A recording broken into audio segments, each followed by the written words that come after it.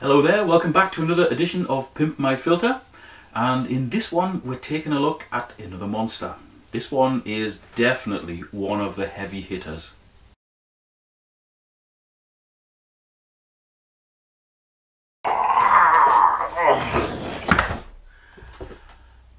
This one is the Eheim Professional 3 2080 also known as 1200 XL, or you can get a very similar thermo version which has got a built-in heater called a 1200 XLT. As far as I know, the 2180 is also pretty much exactly the same as this as well, so hopefully this video will cover all of those different versions. Just a few facts and figures about the flow rate. Flow rate is approximately 1700 litres per hour, which is 447 US gallons per hour. That actually doesn't sound like much for such a beast of a filter. And it isn't much compared to the FX4, FX5 and FX6 from Fluval. However, filtration isn't all about flow rate. What actually fits in here ultimately is more important than how many times per hour the water gets turned over. As far as recommended tank sizes go, Eheim recommend this particular one for tanks up to 1200 litres and that is 316 US gallons. But they also have another line on the on the table which gives you all the facts and figures on the website. They've got the aquariums up to figure, which is 1200 litres, but they also have one just below that that says for aquariums of about 400 litres. That's the one you really should be looking at on their website, not the up to because to be honest that means absolutely nothing. For aquariums of about, that's what they're saying this will be most suitable for. So Eheim are saying that this one will be most suitable for a normal aquarium of around about 400 litres, which is about 105 US gallons.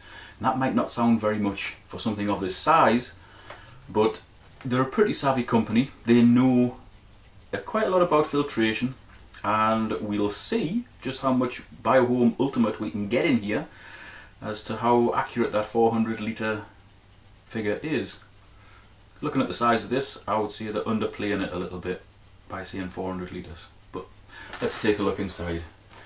Now before I take the top off, I've got to say this one actually came to me with nothing in. Oh, well, nothing in apart from the tiniest, most coarse, knackered little pre-filter pad right in the top. So that is going to get chucked away.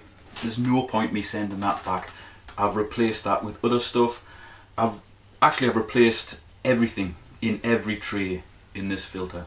So this one is already set up. Let's take a look at how it works and how it's set up. Now before I pull this apart I will say that how I have set this up and how I explain it works will probably contradict a lot of the videos that you see on YouTube about this. I actually did do a bit of research to see what other people thought of them and how other people set them up and it seems like they're either just awful unboxing videos or they're just simply just set up as they come from the manufacturer. No sort of thought put into how it should actually work, you know. So consequently, all the videos I saw had the fine pad in the top as the last thing the water hit before it left and that just concentrates all the fine muck in the media, makes it really inefficient. Ours is set up very, very differently. Okay, so we've got the top here, that contains the pump and that is a really substantial, big, heavy part. And if you notice, we've got what looks like three outlets on the top, but there's actually two inlets and one outlet. So you can draw from two different places in your aquarium which helps to prevent dead spots. So that is a nice feature. So the water comes in from your two different points in your tank into the intake. It then drops out the bottom through these two pipes. It then drops into a pre-filter tray. You should be able to see two holes that I've cut in this coarse foam. That's for the pipes to go into from the top of our filter. Okay, so there's our pre-filter. Water drops in here, swirls around here. All these little baffles in here help to slow the flow down, as does the bumpiness of this foam. Water then comes through the foam, drops down here,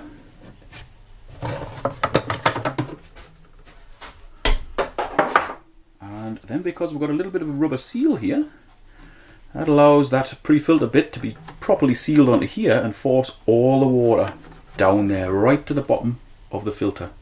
Right, so that's it with the trays out. You can see that's where the water goes down. Comes out of here, swirls around in the bottom. Unfortunately, there isn't enough room in the bottom to put any sort of um, ceramic rings or anything like that to further settle out heavy muck before it hits the foams because this bottom is slightly domed, which is a bit of a bummer. I would have preferred that to have, I don't know, maybe it's an inch, 25 mil or something of space here, just so you could put a bit of crappy media in here just to settle out the flow, catch heavy muck. We haven't got that unfortunately, so the water's going to come straight out of here. And then it's going to hit our mechanical filtration. And in the bottom tray, we've got coarse foam, medium density foam and then a fine pad. So all our mechanical filtration is done in the bottom of the filter. So all the filth, apart from whatever collects in that very top pre-filter tray, is going to be held below here. And that is super, super important because the next tray that goes in is three kilos of Biohome Ultimate and that's going to be operating in beautifully clean water.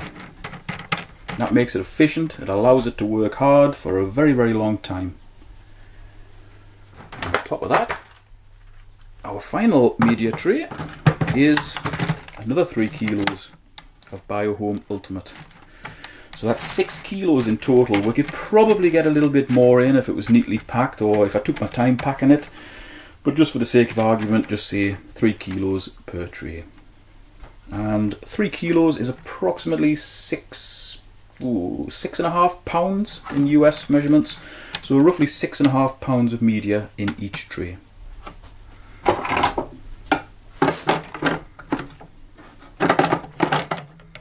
And on top of that we've got the Eheim grid which just stops any of this being drawn into the pump. Not that that ever happens but it's useful to have that on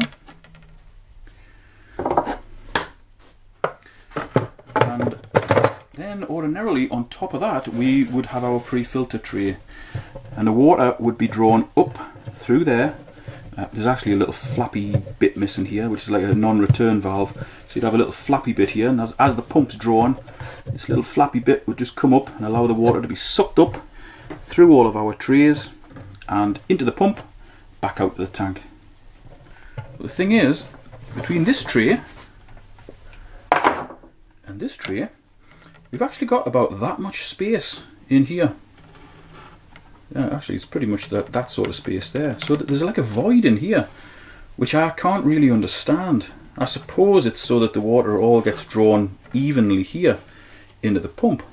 I'm not so sure about that though, because the actual draw point is in the middle. So because we've got a bit of available space there, I've actually cut another foam.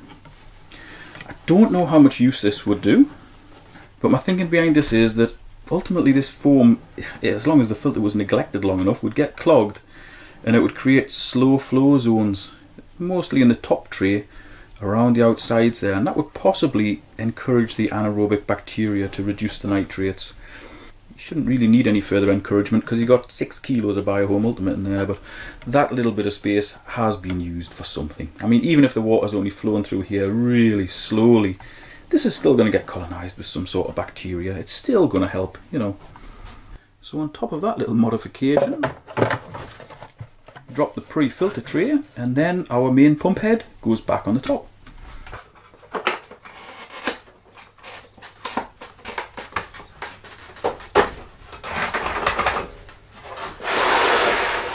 Okay, so that's it, done. It's a really simple one, but when you first take one of these apart, you might think that it looks quite complicated. So there you go, that's that one fully set up. And although I'm not 100% sold on the effectiveness of those pre-filter trays, they can trap muck You've still got to take the filter apart to actually get to it, so I'm not really sure how much they solve. I probably would have preferred to have seen maybe a, a two inch void in the bottom, which I could have filled with Eheim Mech. And that pretty much would have done the same job as our filter tray. It would have still held all the muck down in the bottom if there's muck held in the top, there's always the chance that some of it will escape and end up back down in the media trays. So I'm not sure how much of a bonus having that pre-filter tray is. However, it is set up with a good foam. There's a big contact area there with all the bumpy bits of foam facing down. So when the water hits it, it's hitting a huge area. Then it's going down to the bottom. Then it's hitting our mechanical part, which is all the foams and the fine pad. And then really in the middle, I don't know, 50, 60% of this filter, we've got all of our biological media. And that's going to sort out ammonia, nitrite and nitrate. Well there you go, that's another one done. Set up to be as efficient as possible. Now I was a little bit disappointed that I only managed to fit 6 kilos of Biohome Ultimate into here, considering the size of this thing and the fact that the actual filter compartment is 12 cubic litres. Um, I, I, don't know why, I, I, thought I would probably get somewhere between 7 and 8 kilos in. But really there's not much wasted space in here. Um, it just couldn't fit the vast amount of media in. I mean 6 kilos is only 1 kilo more than an FX5 or an FX6. So given the height of this thing, you know, and the overall bulk of it, that's not a massive improvement, but it is more than the FX5 and the FX6. That's the most important thing. It's not hugely more, but it is more. And 6 kilos of media should be enough to achieve a full cycle, which will ultimately result in the reduction in nitrate in approximately 600 litres. So that's a normally stocked tropical tank of about 600 litres, which is approximately 158 US gallons. So for a normally stocked tank, that fella should give you the full cycle in a tank about 600 litres or 158 US gallons. If you were heavily stocked, so if you had say an African cichlid tank or a predator tank or a goldfish tank, you know, something where there was a lot of fish in, they were reasonably big, they were eating quite a lot of food and obviously producing a lot of waste, you could halve that figure so to expect to see a full cycle in a heavily stocked tank, this would be suitable for a tank of up to 300 litres, which is approximately 79 US gallons. Now all those figures are a world away from 1200 litres, which is Eheim's up to figure. But if you've got a fully planted tank with only a few little fish in, and you've got six kilos of Biohome Ultimate in there, you might get a full cycle out of 1200 litres. But when, the, when they're on about that 1200 litres, they're not talking full cycle. Very, very few, well in fact no manufacturers talk about a full cycle. They really just talk about keeping the water healthy with regard to ammonia and nitrite. So that's why my figures in these videos vary from everybody else's because I'm talking about a full cycle, not just half a job. But the Eheim figure, where they say for aquariums of around 400 litres, is a low ball figure because aquariums of around would be nearer 600 litres. So, yeah, they were way out on the high end and very, very conservative on the low end. Somewhere between the two is probably about right. Okay, that's the end of this video. If you've got a filter you'd like me to take a look at, by all means send me it. Um, UK only though, please. My contact details are in the video description and also in the pinned comment. And they've been visible behind me here for the whole video.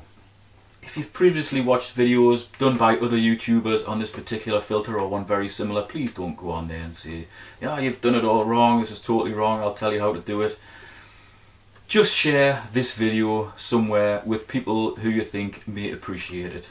The last thing people want when they're making videos is to be told you're wrong, you're wrong, you're wrong, you're wrong. Even if they are, they don't want to be told that. So please just share this video wherever you want. Hopefully people will see the sense in the way that this is set up and replicate it or alter it to their own needs. Thanks very much for watching. See you next time.